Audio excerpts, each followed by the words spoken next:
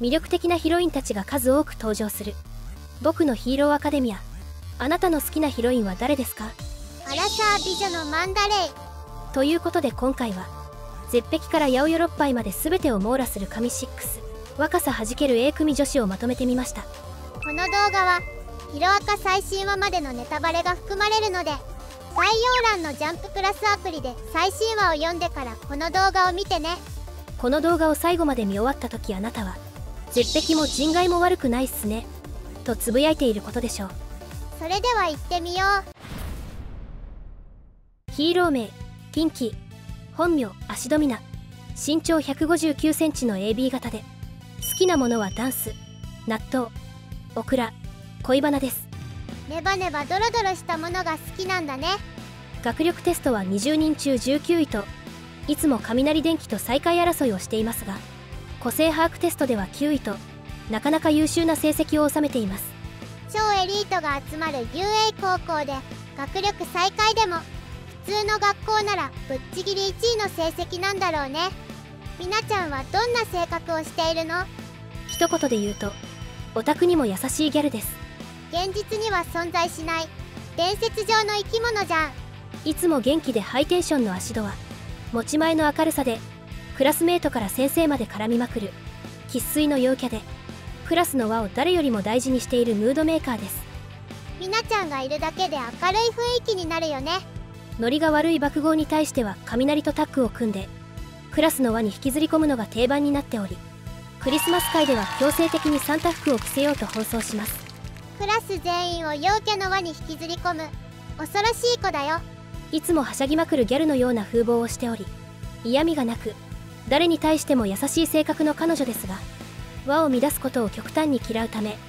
本心をさらけ出して衝突することができず林間学校でさらわれた爆豪を自分たちで救出に行くか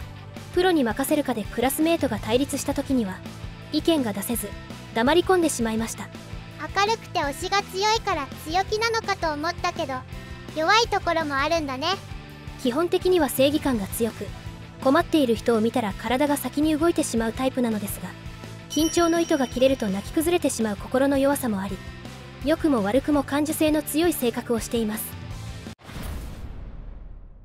みなちゃんは誰と仲がいいの？根っからの陽キャの足戸は同じく陽キャ属性の雷電気同じ中学出身の霧島英二郎。オタクでド変態の峰田実この3人は外せないでしょう。みなちゃんと雷くんはいつも賑やかで楽しそうだよね陽キャ同士が合うのかいつもバカ騒ぎしている2人ですが特にクラスの輪に入ろうとしない爆豪を巻き込むことに関しては右に出るものはなくブチギレる爆豪に躊躇せず突っ込んでいける女子は足止みなしかいません。何度ブチギレられても諦めずに突っ込んでいく勇気に乾杯。UA 教師と対決する期末試験では雷とタッグを組んで根津校長に戦いを挑むも根津校長の個性ハイスペックの頭脳プレーに手も足も出ず敗退しました。UA で最も頭がいい根津校長と最もポンコツな2人が戦うところが面白いね。霧島くんとみなちゃんはどんな関係なの？一言で言うと友達以上恋人未満のオナ中です。なんか複雑そうだね。もともとは同じ中学出身の2人でしたが中学時代は特に交流もなくほとんど話したことがない顔見知り程度の関係でした。2人ともヒーローを目指していたのですが成績優秀。運動神経抜群。社交性もある足ドミナは UA 高校に当然合格するだろう。と期待されている反面中学時代はパッとしなかった霧島は足戸に劣等感を抱き UA 高校受験を諦めようとしていました。そんなある日街で足戸の友達がヴィランに絡まれているところを見かけた霧島は助けに入ろうとするも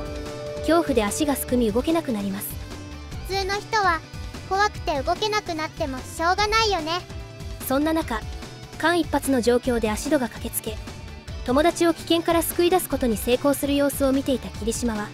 より強い劣等感にとらわれるようになりました。しかしそこで折れるほど弱い男じゃない彼は自分を奮い立たせ次に同じ場面に出くわした時は必ず助けられるような強いヒーローになると誓い尋常じゃない努力の末足戸と一緒に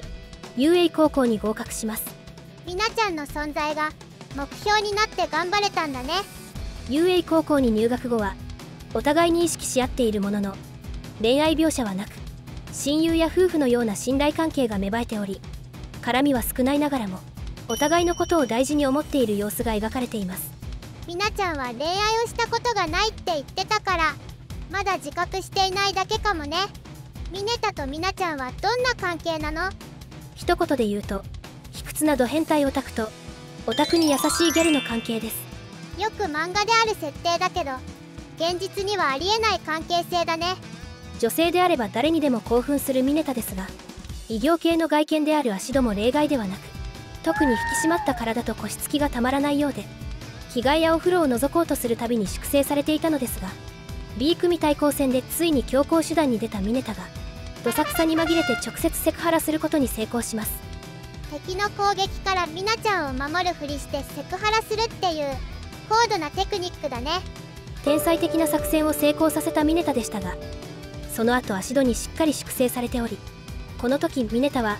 ルドビゴ療法という過酷な拷問を受けています。動けなくされてテレビを見せられているのがルドビゴ療法ってこと。この拷問は時計仕掛けのオレンジという映画で殺人鬼の主人公を強制するために行われた拷問です。具体的にはどんなことをするの？目を閉じられない状態で暴力行為が行われるビデオを見せられながら常に目薬と嘔吐剤を与え続けることで暴力シーンを見ると吐き気を催して悶絶するような条件反射を体に刻み込ませ罪を犯せない体にするという恐ろしい拷問方法です。思ったより100倍えぐい拷問だった。性欲が抑えられないミネタをルドビゴ療法にかけることでセクハラ行為をすると体が拒絶反応を示すように強制的にトラウマを植え付ける恐ろしい拷問をクラスメートが談笑するリビングで行うという異様な光景です。さりげない一コマの中にとんでもない情報量が込められていたんだ。堀越先生恐るべし。みなちゃんはどんな個性を持っているの？彼女の個性は酸を自在に操ることができます体全身から酸を生成することができるこの個性は酸の濃度や粘度を自由自在に調節することが可能で強酸性粘度高めの酸をシールド代わりに使うアシッドベールや弱酸性の酸で全身を覆い敵の攻撃から身を守るアシッドマンなど数多くの必殺技を持っており持ち前の運動神経とダンスで培った体の使い方と相まって非常に強力な戦闘能力を発揮しています。足から酸を出して滑るように移動したり衝撃吸収クッションとして使ったりかなり応用が効きそうな個性だね。攻守にわたって優秀な個性ではありますが扱いは非常に難しく一度体から離れてしまった酸は再調節ができないため酸の濃度を強くしすぎると殺傷能力が強くなりすぎてしまい取り返しのつかない重傷を負わせてしまう可能性があるためこの個性を自在に操る足ドミナは天才的なバトルセンスを持っていると言っても過言ではないでしょう。確かにちょっと目に入るだけで簡単に失明しちゃうし建物を溶かす酸なのかヴィランを無力化させる酸なのかを間違えただけで全身ドロドロに溶かしちゃう。えぐい個性だね。この個性に弱点はないの？単純に扱いが難しいことが弱点です。特にヒーローというのはヴィランを拘束。無力化させることが重要なのですが殺傷能力が高すぎるゆえに個性の使いどころが難しいため実際に足戸はこの個性で攻撃することは少なく防御や移動に活用する程度で最終的には肉弾戦に持ち込んでいます。ヴィランが使ったらめちゃくちゃ凶悪な個性だけどヒーローが使うには凶悪すぎるってことか。使いこなすには恐ろしく高度な知能と戦略が必要な個性ですが天性の感覚だけで使いこなす足戸が成長して戦略的に使いこなせるようになればトラップ足止め武器の無力化などさらに強い個性に化ける可能性は高いのではないでしょうか。最終決戦でミナちゃんは何をしているの？ヴィランたちを分断し日本各地で局地戦を展開するヒーローたち。足ドミナは蛇空病院跡地にてギガントマキア防衛戦線に配備されています。拘束されているギガントマキアを奪い返しに来たヴィランたちを迎撃している戦場だね。この戦場には足ドミナの他にマウントレディ霧島英二郎峰田実骨抜十三古代結柳玲子が配備されています。万が一ギガントマキアが復活してしまった時に対抗できるヒーローが配置されているんだね。ギガントマキアと唯一対等に戦える巨大化の個性を持つマウントレディ地面を液状化させ動きを封じる骨抜き重造無機物のサイズを自由自在に変化させることでマウントレディ用の武装を準備できる古代優唯一ギガントマキアを拘束できる可能性が高い。モギモギの個性を持つミネタミノルなど対ギガントマキアに特化したヒーローが集結されていますがヴィランサイドもクセ者揃いで第1話で爆豪に取り憑こうとしたヘドロヴィランやミッドナイトを殺害した張本人異能解放軍の幹部など凶悪なヴィランが集結しており混沌とした戦場になっています。ベテランヒーローっていうよりかは若手ヒーローと学生たちが中心の戦場なんだね。黒霧と同じくギガントマキアが解放されてしまった場合ヒーローと日本の壊滅は確定してしまうためかなり重要度の高い防衛戦線なのは間違いありません。黒霧が奪還されて各地の戦場がめちゃくちゃになってきてるからここでギガントマキアも解放されたらどうあがいても逆転できなくなっちゃうよね。絶対絶命の状況にまで追い込まれたヒーローたちを救うのは霧島が護衛していた謎の人物かもしくは再戦を誓い合ったあの宿敵か。先が読めない最終決戦の行方は果たしてどうなるのでしょうか。本名明日井つゆ。ヒーロー名フロッピー。身長150センチの B 型で1年 A 組の中ではミネタの次に身長が低い。小柄系女子です。いつもカエルっぽい立ち方だから余計小柄に見えるよね。A 組女子の中では比較的おとなしいタイプではありますが人見知りは一切せず思ったことを何でも言ってしまう性格でデクに対してあなたの個性オールマイトに似てると確信をついたり初対面の爆豪に対しても物おじすることなく爆豪ちゃんはキレてばっかりだから人気でなさそうとオーバーキルしたりと皆が言いにくいことでもぶっ込んでいく。ストロングスタイルな女の子です。デクの個性がワン・フォー・オールだって最初に気づいたのがつゆちゃんなんだね。マイペースな不思議ちゃんのような雰囲気のつゆちゃんですがひとたび戦場に立つとどんなピンチにも冷静に行動できる性格で15歳の高校1年生とは思えないほど指揮官としての能力は高く UA 高校創設初期からオールマイトを含む数多くのヒーローたちを見てきたリカバリーガールからも課題のない優等生。人々の精神的支柱になる存在。と太鼓判を押されておりリーダーとしての適性はヤオモモより高いと思われます。初めてヴィランと遭遇した USJ 事件での肝の座り方は尋常じゃないよね。作中で初めて信楽の崩壊を受けそうになったつゆちゃんですが一切顔色を変えることなくその後も冷静な思考を続けられる精神力はプロヒーロー顔負けなのは間違いありません優秀な人材が集まる UA 高校ヒーロー科の中でも学力テスト6位と上位の成績を収めており生まれついての性格と相まって知能指数はかなり高いのではないかと推察できます。つゆちゃんはどんな個性を持っているの？つゆちゃんの個性はカエルです。ミルコのウサギとかと同じような個性だね。カエルのようなことは何でもできる個性で汎用性は高く水中での機動性はもちろんのこと最大 20m まで伸びる強靭な舌でヴィランを捉えたり吸着力のある手足で壁や天井に張り付くことも可能。人2人を抱えた状態で数十メートルジャンプできる跳躍力やヴィランを一撃で吹っ飛ばす強靭な脚力を持っており殺傷能力こそ低いものの機動力応用力に優れた個性で水難救助においては彼女の右に出る者はいないでしょう。水辺だったらギャングオルカ並みに強そう。さらにカエルの擬態能力で風景に溶け込んだり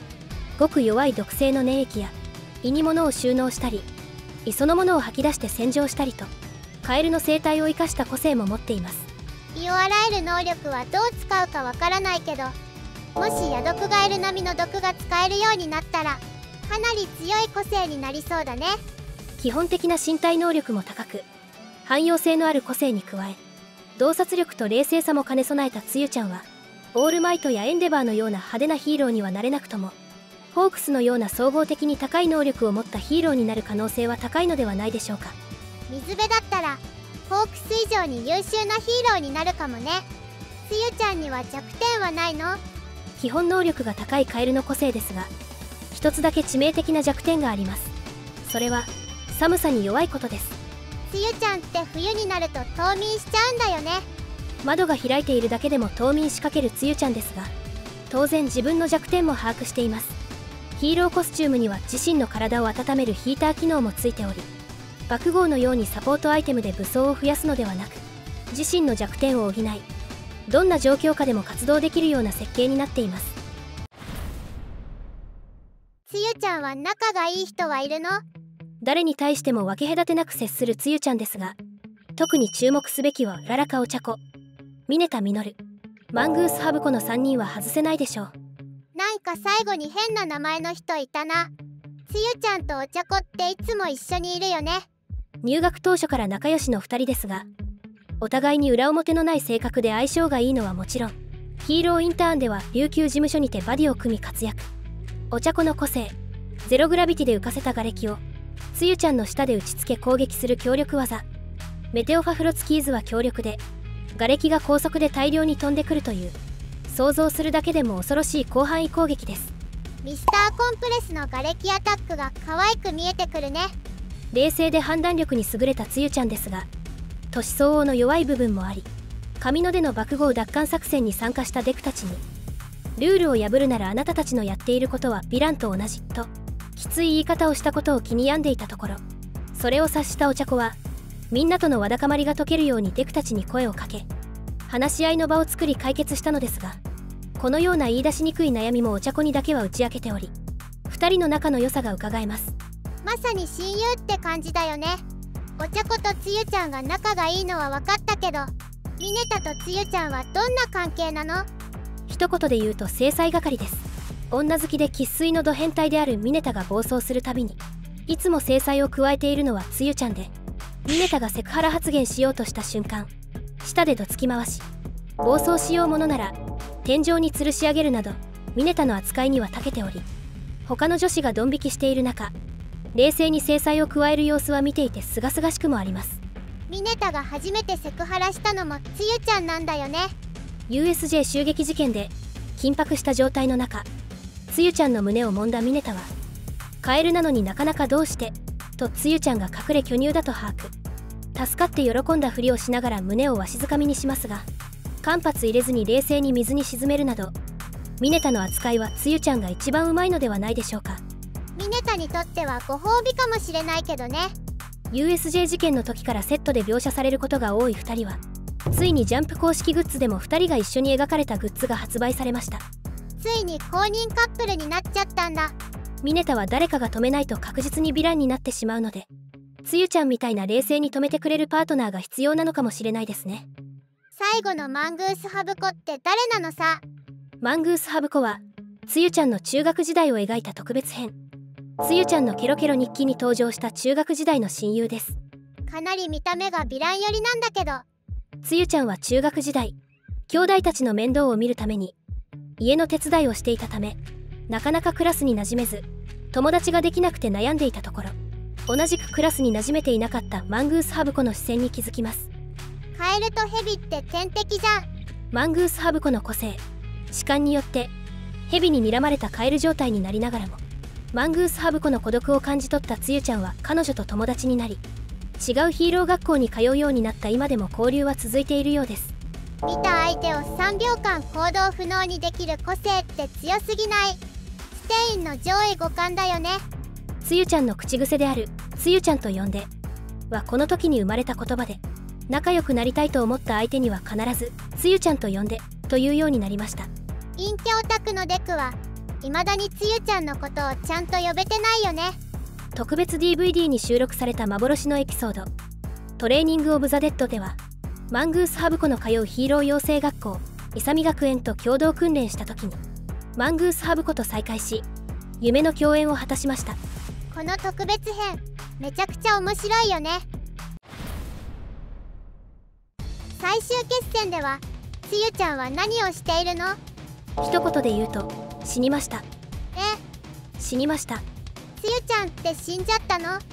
正確にはまだ死んだかどうかは分かりませんが非常に危険な状態だと推測されています。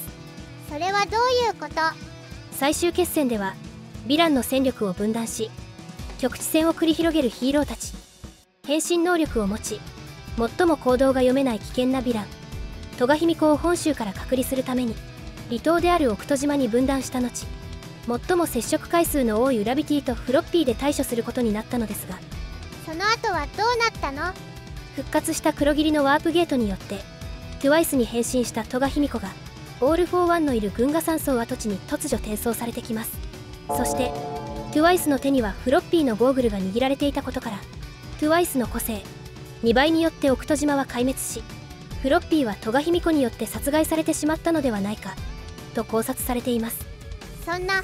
お茶子とつゆちゃんが負けるなんて。まだ戦闘続行中で一部のトゥワイスだけ転送されてきただけかもしれないですが2倍の個性が発動している時点で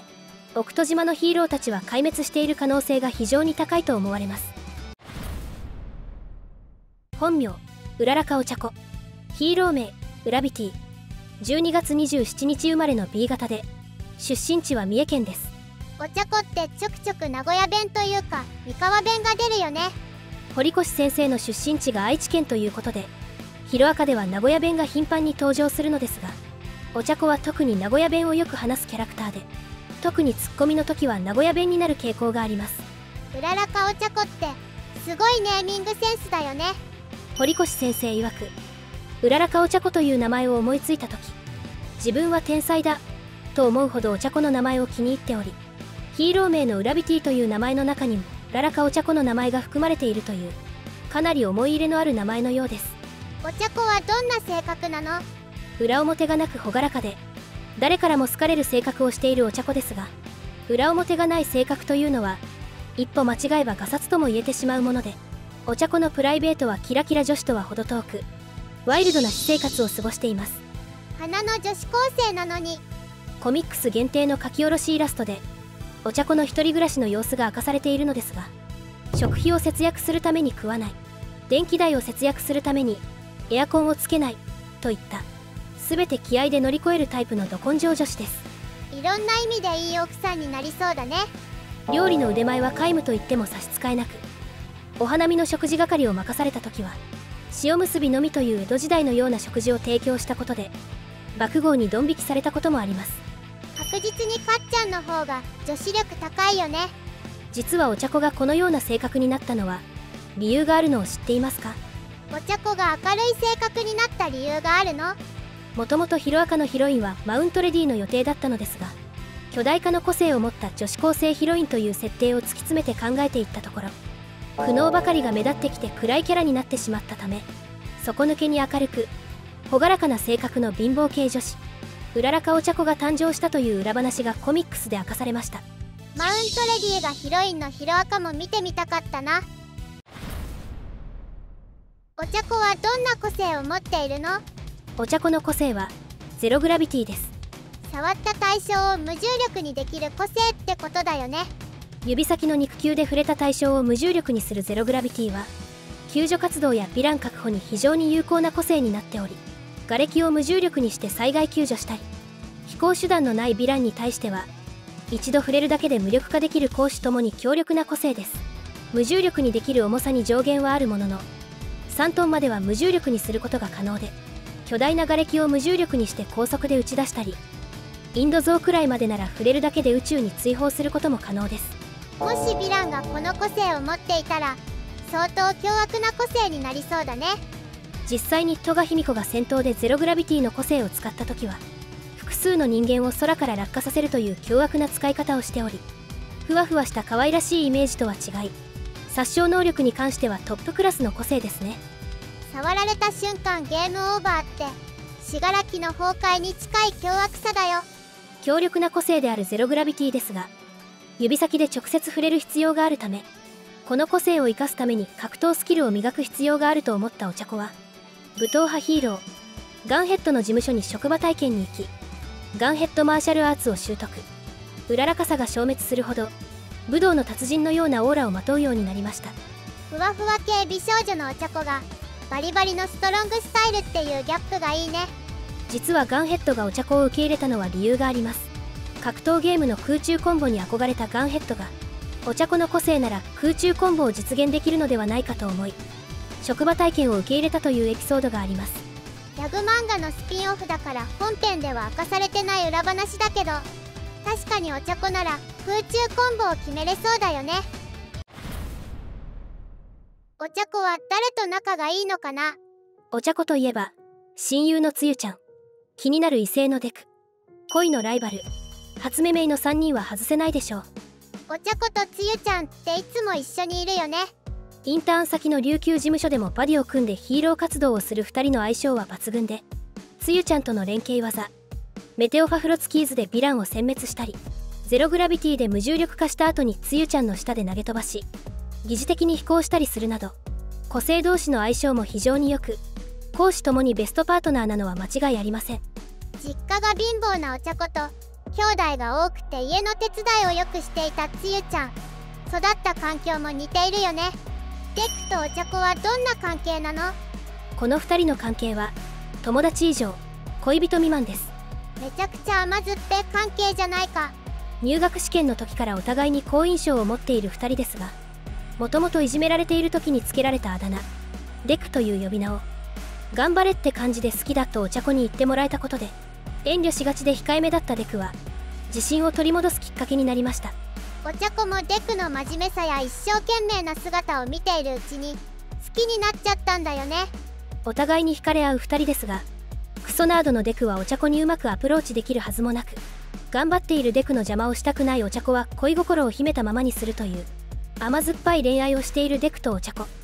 プレゼント交換会でデクからもらったオールマイト人形をいつも持ち歩いているお茶子は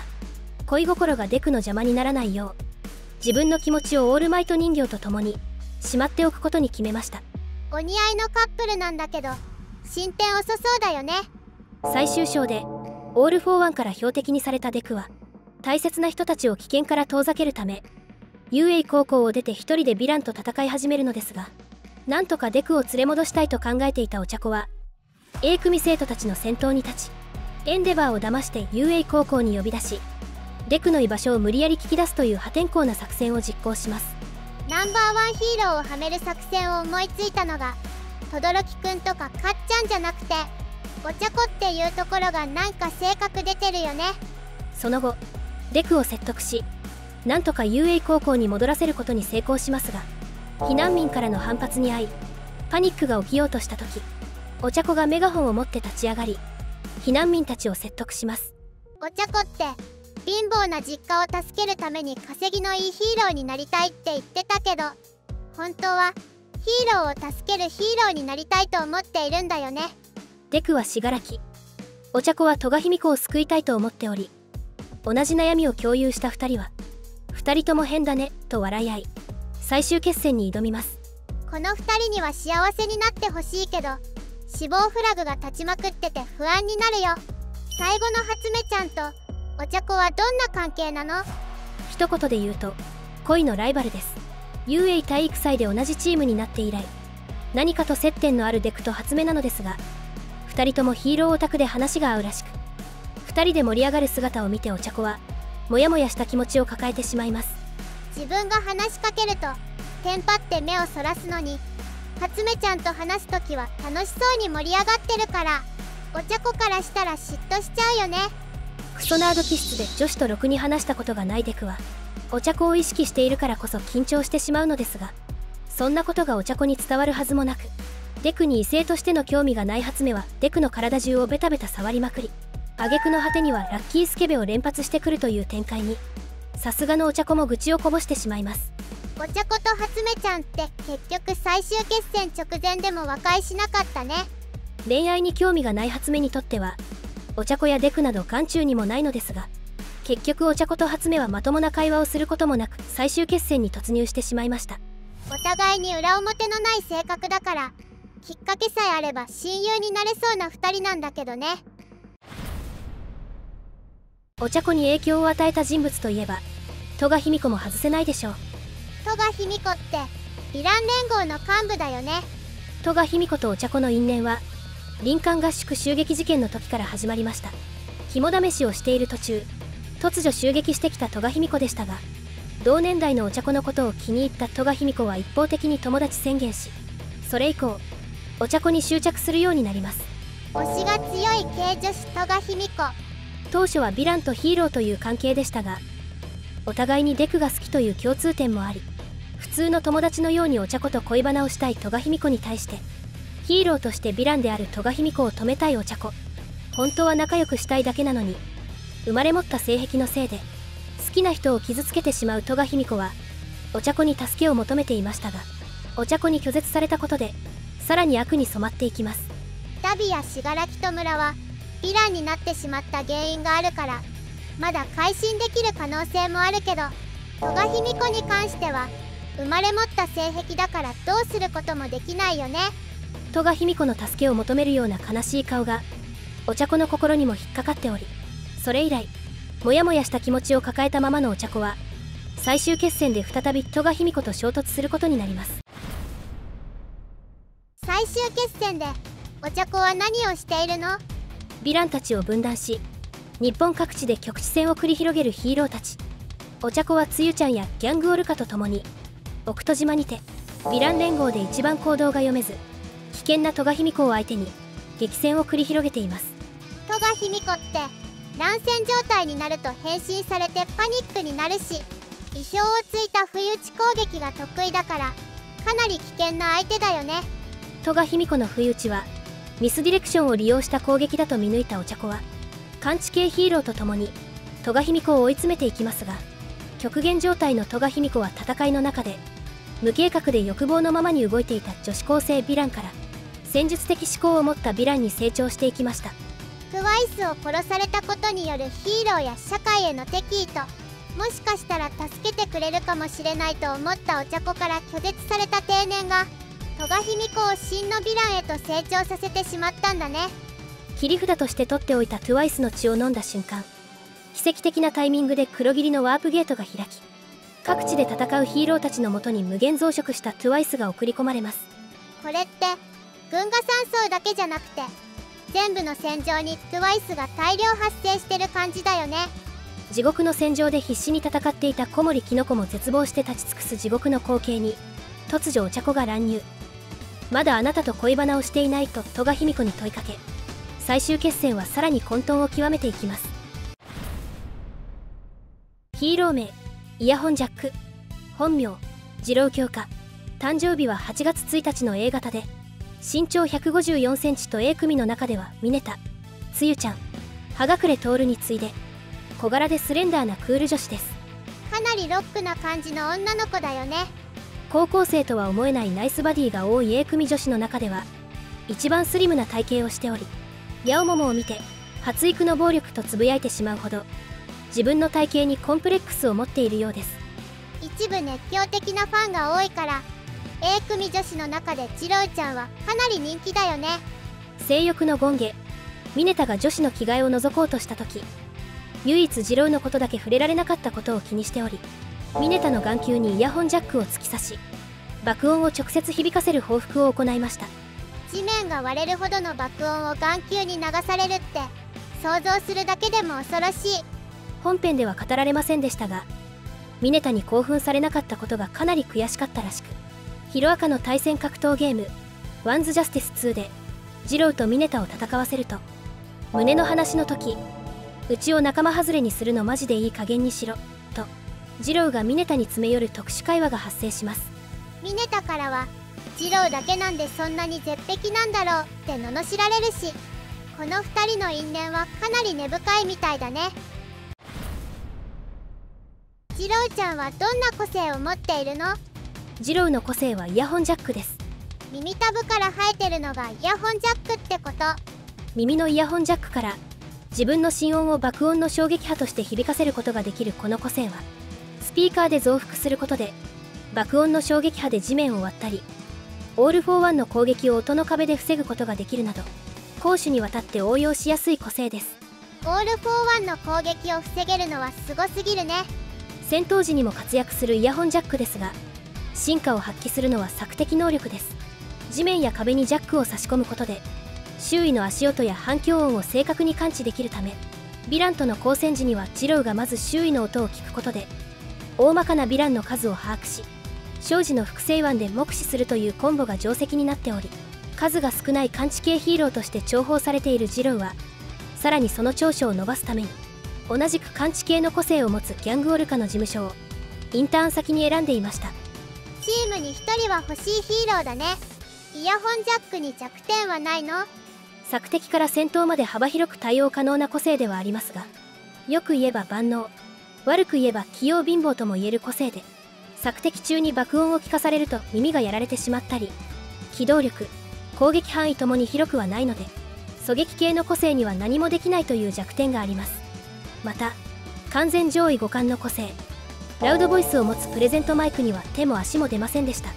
根本的に戦闘向きじゃないのかもね。基本的にサポートに特化した個性ではありますが芸能系にも通用する個性のため食いっぱぐれることはないでしょう。ちなみにこのイヤホンジャックという個性は堀越先生が一番最初に思いついた個性らしく思い入れがあるのか Twitter での書き下ろしイラストではかなりの頻度で二郎教科が登場しています。堀越先生発育の暴力が好きなのか絶壁が好きなのか性癖の守備範囲が広すぎるよ。次郎ちゃんは誰と仲がいいの？男女ともに気さくに話せる二郎ですが特に仲がいいのは親友の八尾桃背中を押してくれた幸田講師気になる男子雷電気の3人ではないでしょうか。八尾桃と次郎ちゃんは親友なんだね。USJ 襲撃事件で共闘して以来何かと気が合う2人はプライベートでもよく遊ぶようになり堀越先生の書き下ろしイラストでも2人セットで描かれることが多い公式カップリングですロックでかっこいい次郎ちゃんとお嬢様でプリプリした八尾桃の組み合わせが絶妙だよね。この2人は音楽という共通の趣味もあり正反対ながらも相性抜群なのですがヒロアカの小説版「遊泳白書2」では八尾桃の母八尾ママと次郎のエピソードが描かれています。八尾桃のお母さんと次郎ちゃんも関係があったんだ。ヒロアカ本編で八尾桃の家にみんなで試験勉強をしに行くというエピソードがあるのですが小説版では八百万漬けでの勉強会の様子が事細かく描写されています。その中で次郎は八尾ママに挨拶した時に怪げそうな顔で見られたと感じロックな格好が気に食わなかったのだろうかと落ち込んでしまうのですが実は八尾ママは学生時代の憧れの先輩が次郎と同じような格好をしていたことを思い出しており次郎の姿に見とれていたという真相が明かされます。八尾桃が次郎ちゃんと相性がいいのは八尾ママの遺伝だったのかもしれないね。幸田くんと次郎ちゃんはどんな関係なの？一言で言うとお互いに勇気を与えてくれた関係です。次郎と幸田は遊泳教師と対決する期末試験でバディを組み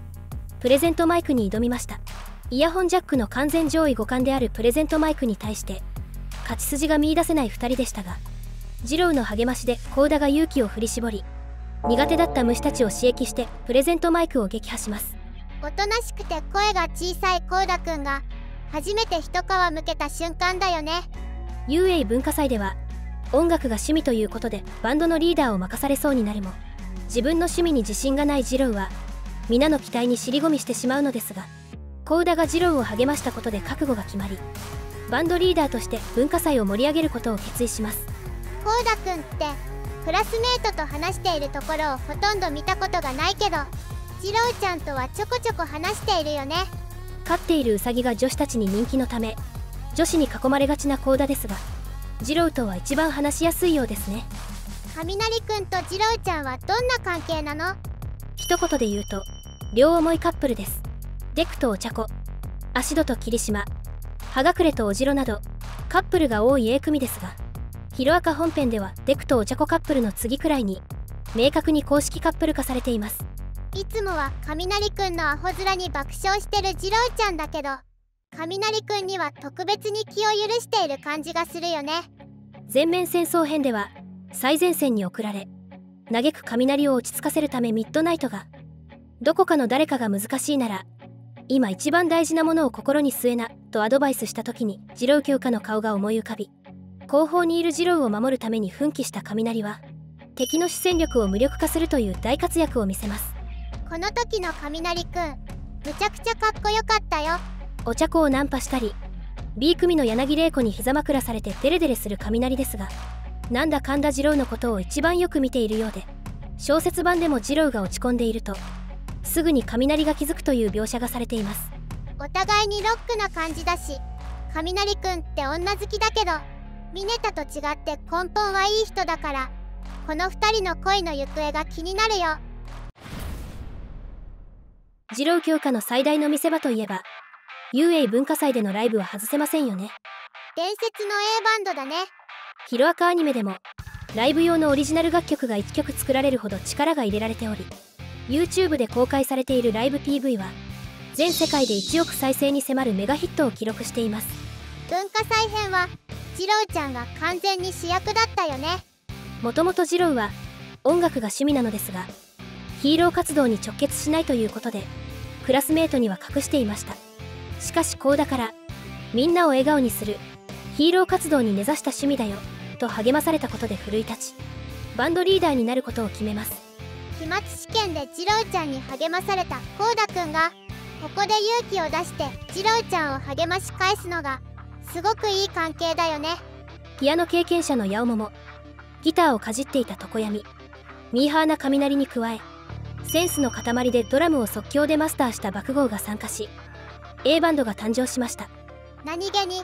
耳郎ちゃんとかっちゃんの絡みってほとんどなかったから新鮮だよね。バンドメンバーにアドバイスするためにデクにノートのまとめ方を聞いた耳郎は一人一人に専用のノートを作成するなど耳郎のまめで親切な性格がみんなの絆を深めライブは大成功を収めましたこの文化祭編で耳郎ちゃんが好きになったファンが多いんじゃないかな。最終決戦では耳郎ちゃんは何をしているの？ヴィランを分断し日本各地で局地戦を展開するヒーローたち。耳郎響香はその中で最も危険な戦場。群訝山荘跡地でオール・フォー・ワンと交戦中です。オール・フォー・ワンを相手にするって危険すぎるよ。エンデバーホークスを中心にオール・フォー・ワンと交戦するヒーローたちでしたが荼毘に燃やされた羽が回復していないホークスとオール・フォー・ワンの精神攻撃によって揺さぶられ致命傷を負ってしまったエンデバー。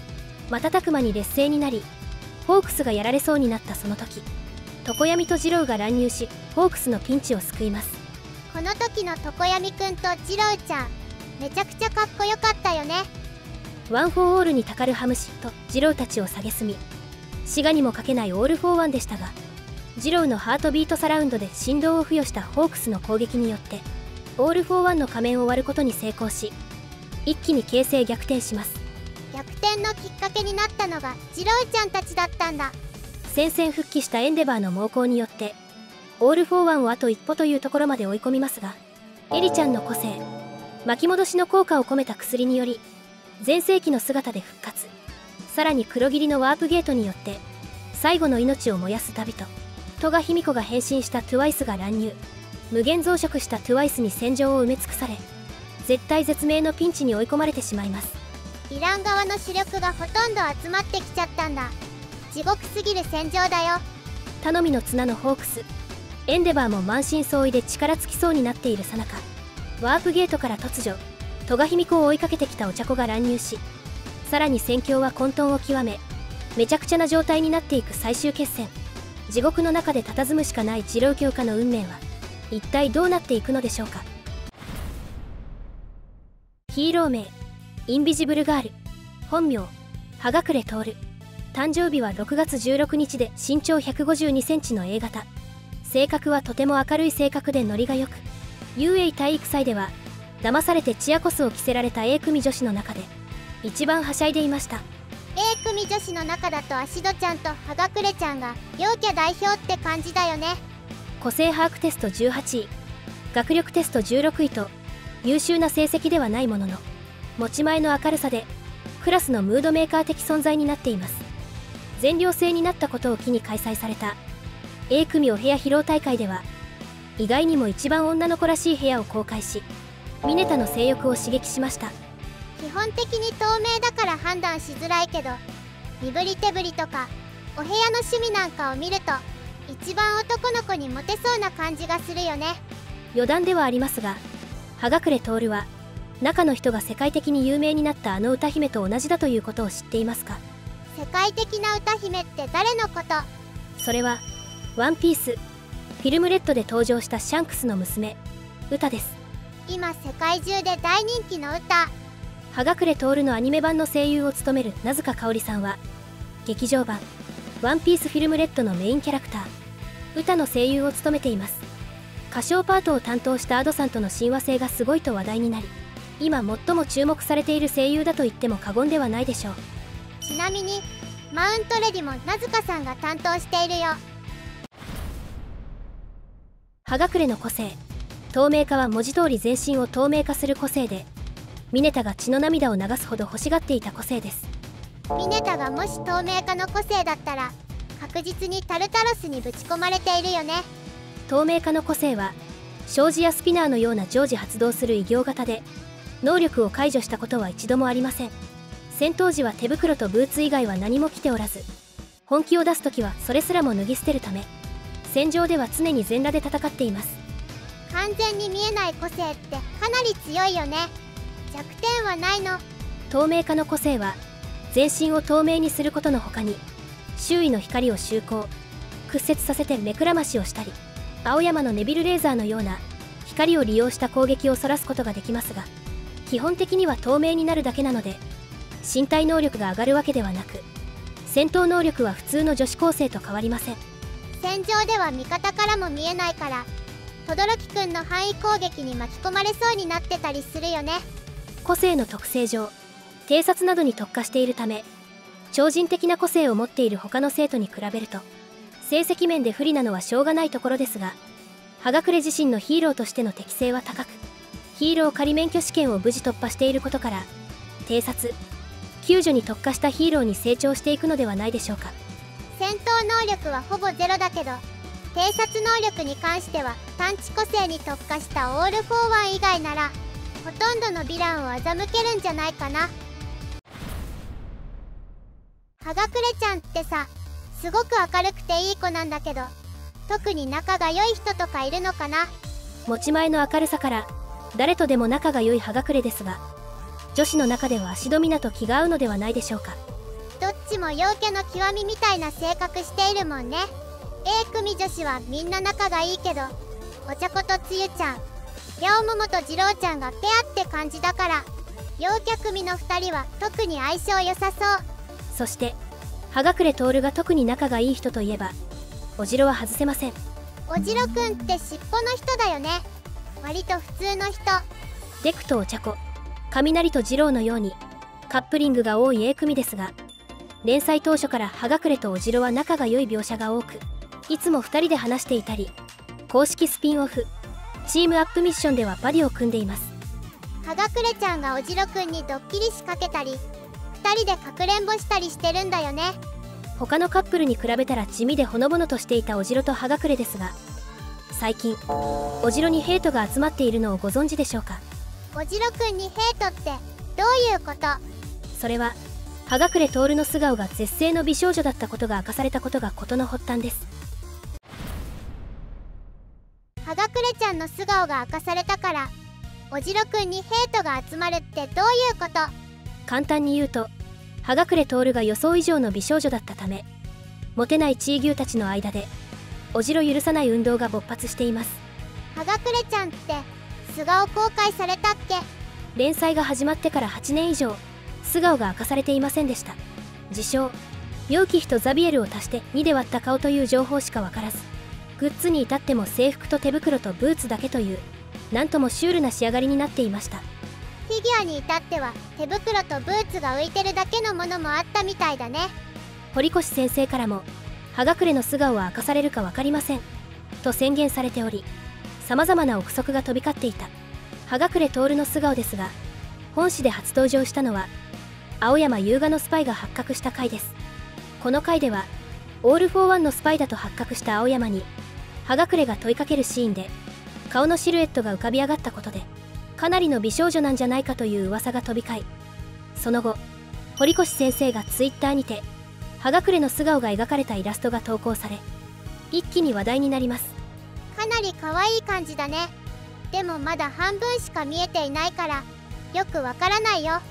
葉隠の素顔が半分明かされたことでファンアートが急増し一気に人気キャラになったのですが最終決戦の終盤緊迫したシーンが続く中突如センターカラーイラストとしてフルカラーの葉隠れ徹が描かれ Twitter のトレンドに乗るほど話題になっています。めちゃくちゃ可愛い上に手袋とブーツしか着ていないほぼ全裸美少女のイラストをジャンプのセンターカラーにするなんて堀越先生の勇気がすごいよ。完全にエロ本と化した少年ジャンプでしたが葉隠れが絶世の美少女だと判明したことで今まで葉隠れと恋人ムーブをかましキスまでしていたおじろにヘイトが集中。某掲示板にはおじろを許すなというスレッドが立つほどヒートアップしています。性格が明るくて元気いっぱいの全裸美少女なんてチー牛たちの性癖の塊を投下してくる堀越先生恐るべし。超絶美少女だったことが判明し話題になっている葉隠れ徹ですが最終決戦編では未だその存在を確認できていません。そういえば一度も登場していないよね。おじろくんと一緒にいると思ったけどいなさそうだったし。どこで何をやっているのか不明な葉隠れですが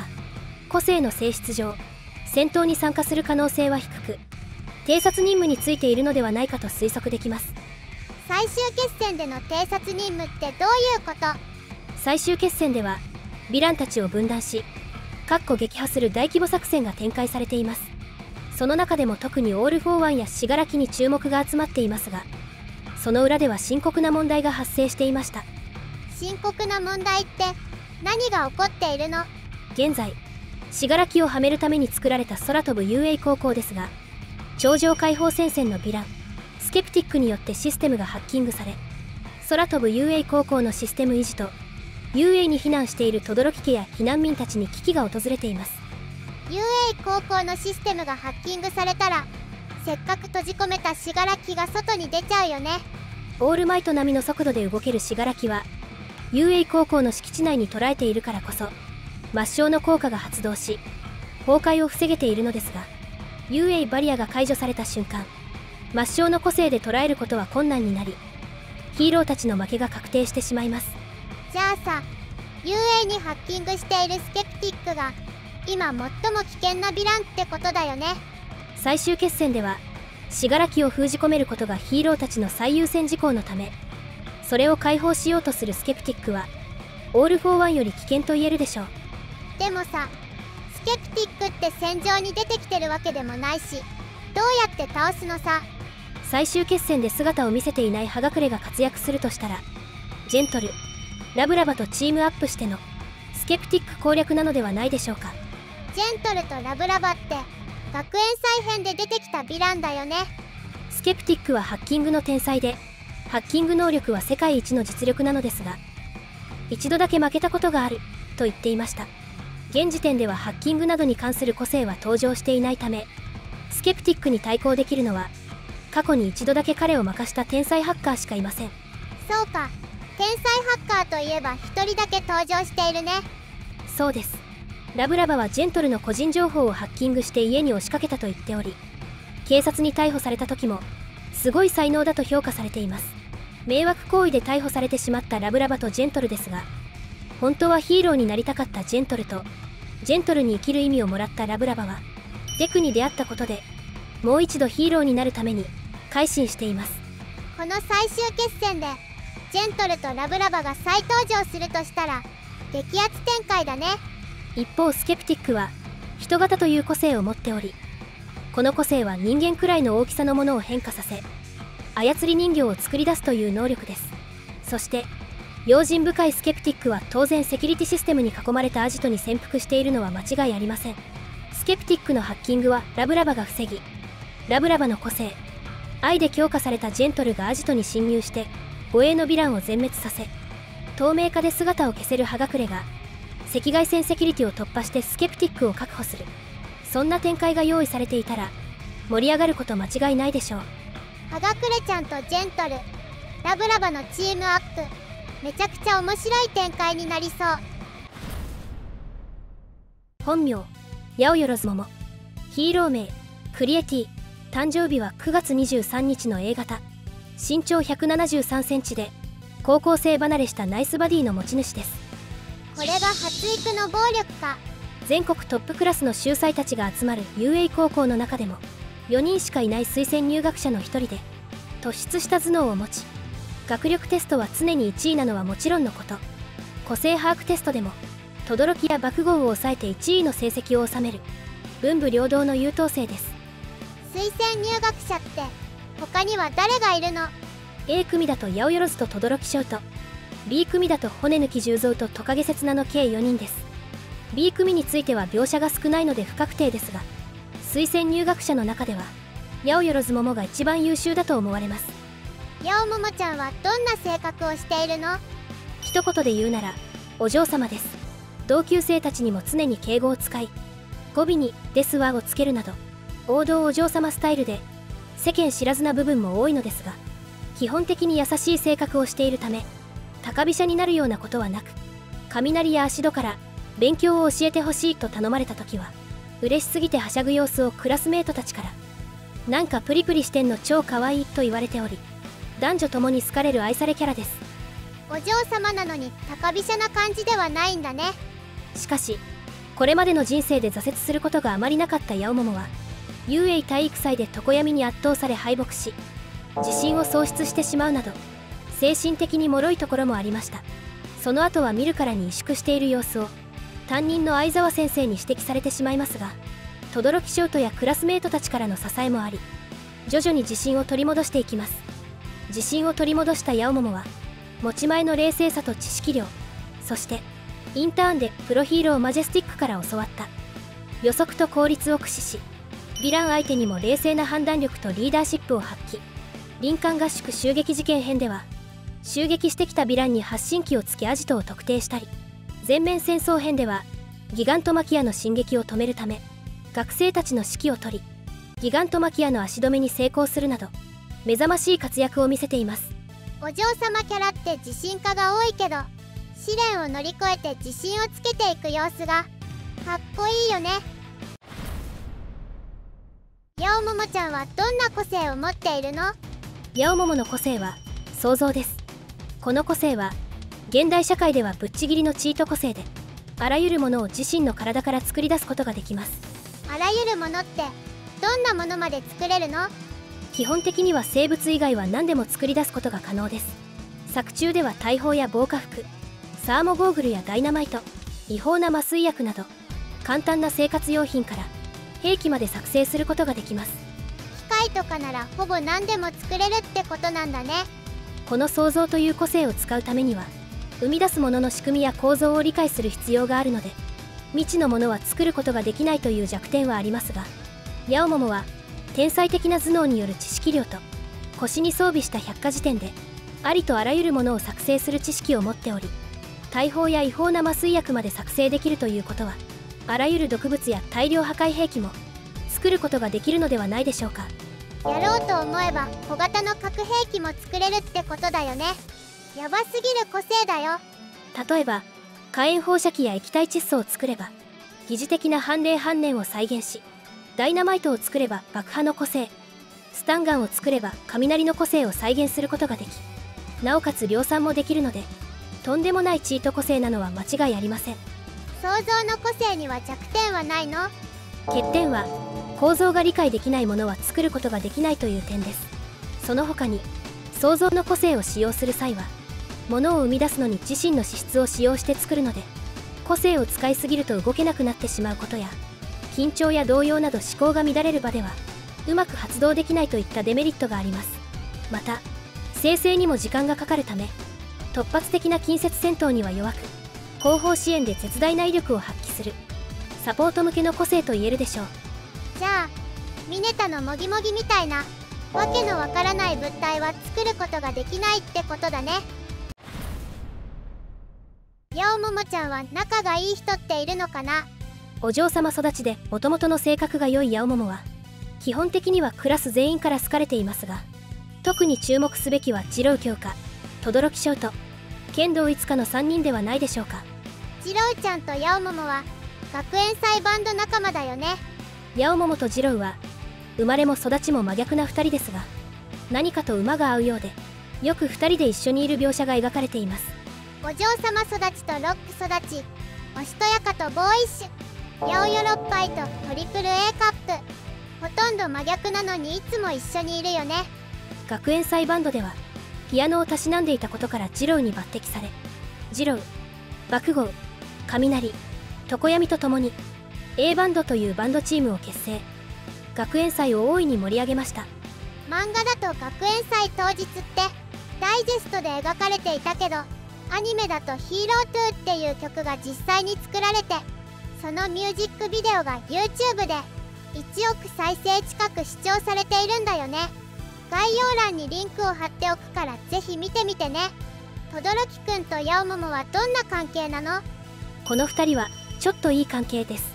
もともとお嬢様育ちで挫折を経験したことがなかった彼女は遊泳高校に来てからは自分の未熟さを突きつけられ自信喪失してしまうのですがヤオモモを立ち直らせたのが轟翔太です。轟翔太は父親のエンデバーに似て口数が少なくよく他人を誤解させてしまうのですがヤオモモに対してはよく気遣っているようです。ヤオモモと轟くんといえば相沢先生と戦った期末試験の時に距離が縮まった感じだよね。自信喪失して萎縮しているヤオモモに対し作戦を立てるのはお前の方が長けているとヤオモモの本来の長所を見抜き委員長を決める投票でもお前に入れたと彼女に対しての信頼を明かすことでヤオモモは自信を取り戻します。その後の B 組対抗戦でもヤオモモを警戒するなら4人の総力で真っ先に潰すべきだった。って言ってたから彼女のリーダーとしての素質を誰よりも理解している感じだったよね。彼女を心配する姿が頻繁に描かれていることから菊支部ではトドモモという2人をカップリングするタグが盛り上がっています。2人とも優秀な家庭出身で地位と個性持ちだからお似合いのカップルかもしれないね。3人目はヤオモモのライバル剣道いつかです剣道ちゃんって B 組の親分だよね。ヤオモモと剣道は職場体験で女性ヒーロー上髪の事務所に行ったことがきっかけで仲良くなりました。どちらも容姿端麗で花があると思った上髪はヤオモモと剣道を自身が出演している CM に一緒に出演させたことがきっかけで2人の人気が爆発。箱押しというユニット丸ごと応援するファンもついたことでヤオモモと剣道は2人セットで応援されることが増えたようです。でもさ剣道ちゃんはヤオモモと一緒にされるのあんまりよく思っていないんだよね。そうですね。しかしこれは妬みなどではなく剣道は自分よりヤオモモの方が成績も個性も格上だと思っているからこそ容姿だけでヤオモモと同格と扱われるのが嫌だったという意味でヤオモモを誰よりも尊敬しています。この2人ってお互いのことを尊敬し合ってる爽やかなライバル関係でなんかいいよね轟や剣道はヤオモモのリーダーシップに絶大な信頼を置いているのですがプロヒーローから見てもヤオモモのリーダーシップには定評があるようでインターン先のマジェスティックや UA 教師のミッドナイトもヤオモモのことを高く評価しています。プロヒーローからも信頼されているってすごいよね。特にミッドナイトは全面戦争編でギガントマキアを止めるための最後の切り札としてヤオモモの個性と判断力に欠けました。これは戦場にいた他のプロヒーローたちと比較してもなおヤオモモの判断力が一番優れていると評価した上で彼女に希望を託したということです。A 組って委員長の飯田くんとか優秀な轟くんや爆豪もいるけどリーダーとしての素質はヤオモモが一番なのかもしれないね。ヤオモモは最終決戦では何をしているの？最終決戦では最も危険なヴィラン信楽戸村を封じ込めるための空飛ぶ UA 高校に配置されています。オール・フォー・ワンを受け継いだ死柄木弔に伝播する崩壊を使われた時点でヒーローサイドの敗北が決定してしまうため伝播する崩壊の影響を最小限に抑えるべく UA 高校を空に飛ばし崩壊の個性を使用された場合は崩壊が伝播する前にそのブロックを切り離し崩壊の個性を封じ込めるというギミックの中核をヤオモモが担っています。最終決戦の中でもかなり重要な役割なんだね。ブロックを切り離した際は新しいパーツで補填する必要があります。そこでヤオモモの想像によって欠損したパーツを即座に生み出し補填することで空飛ぶ UA 高校の機能を維持しています。パーツを作りながらお料理ヒーローランチラッシュの料理を食べ続けるっていうかなりシュールなシーンだけど重要な役割を持っているんだね総力を結集してヴィランたちに対抗していますが徐々に劣勢になってきているヒーローたち。今後の展開から目を離せませんね。ということで今回は魅力的な A 組女子たちを解説してきましたがいかがでしたでしょうか？こんなに魅力的な女の子たちに囲まれているミネタがヴィラン化してしまうのもしょうがない気がするよ。この動画が1000いいねを超えたら B 組女子のまとめ動画も作ろうと思うのでいいねとチャンネル登録お願いしますそれでは次回の動画でお会いしましょう。クルスウルトラ。